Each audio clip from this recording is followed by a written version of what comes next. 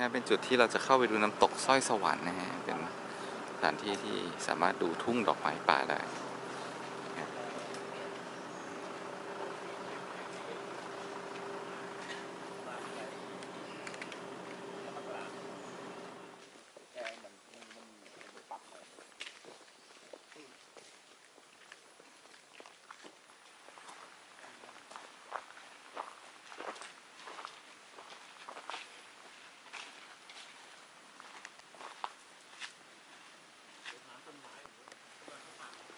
รงนี้เป็นทางลงไปน้ำตกนะครับ น้ำตกสร้อยสวรรค์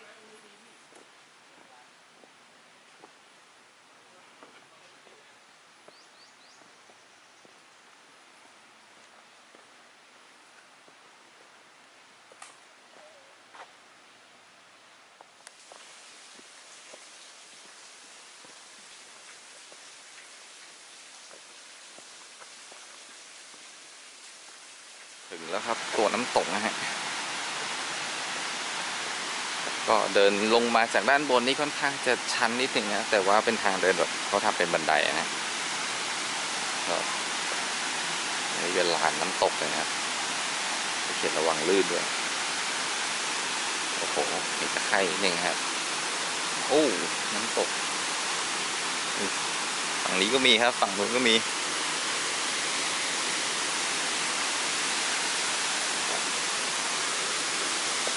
ทางนี้ก่อนทางนี้ก่อน ว้า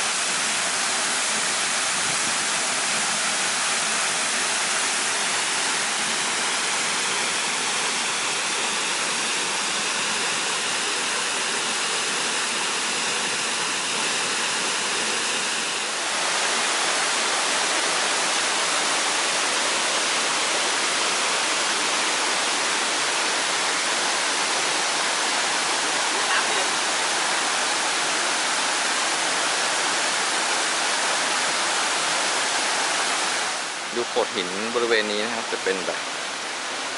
ลวดลายหินแล้วก็ลักษณะก้อนหินที่ค่อนข้างเหมือนแอ่งน้ำนะฮะมีพื้นที่ให้เล่นน้ำแบบสองจุดเลย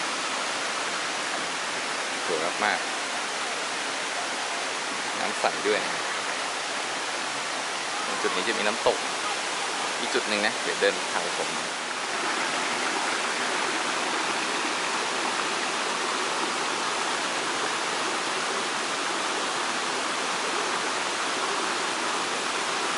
เราเดินมาน้ำตกสร้อยสวรรค์นะครับเราจะเดินข้ามโขดหินมา ฝั่งนี้จะมีผาใหญ่นะครับแล้วมีน้ำตกไหลลงมาอีกจุดหนึ่งไหลเลื่อยลงมานะครับ ตามลำน้ำนะ จะเห็นว่ามีโขดหินร่องหิน ลักษณะสวยมากนะครับ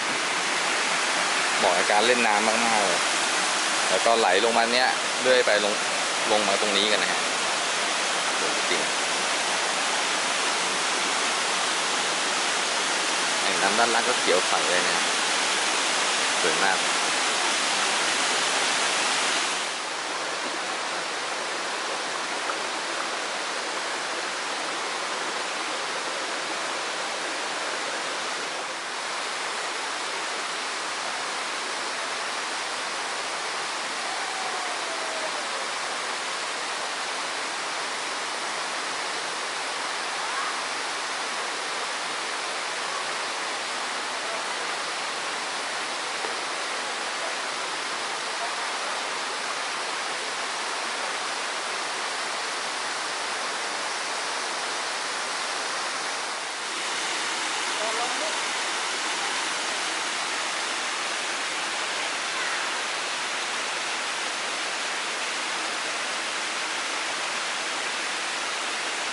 ใช่ไหมครับ หน้าผาและโขดหินใหญ่มากนะ พอไหลลงมาปุ๊บ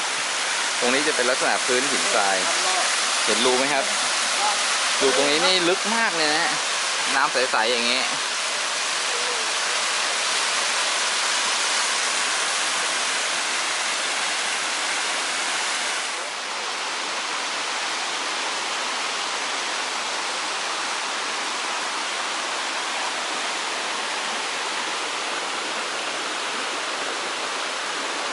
แต่ละรูนี่แบบใหญ่ๆทั้งนั้นเลยนะครับ เป็นโพรงแม่ดูด้วยคือปลาเทียบวัว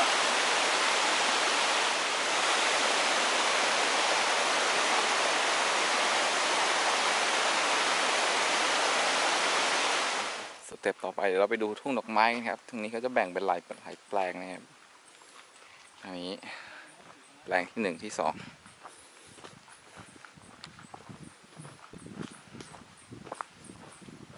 เรื่อยๆนะครับเราก็จะเจอแผนผังนะฮะของบริเวณหน่วยพิทักษ์สร้อยสวรรค์ตรงนี้นะครับ ว่ามีอะไรอยู่ตรงไหนบ้างนะครับ แปลงไหนปลูกเมื่อไหร่นะฮะเอาละครับเดี๋ยวไปดูของจริงกันครับครับเจอทุ่งดอกไม้แล้วครับ ฝั่งนู้น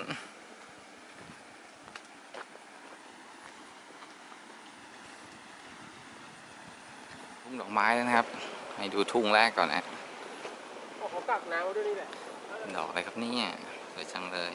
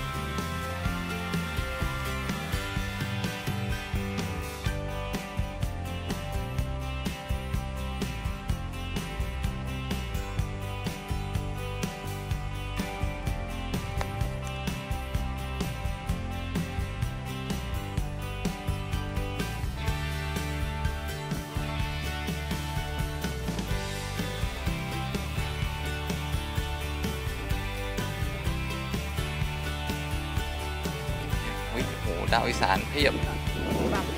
เหลืองแดงแดงอะเฮ้ยมันเยอะแดง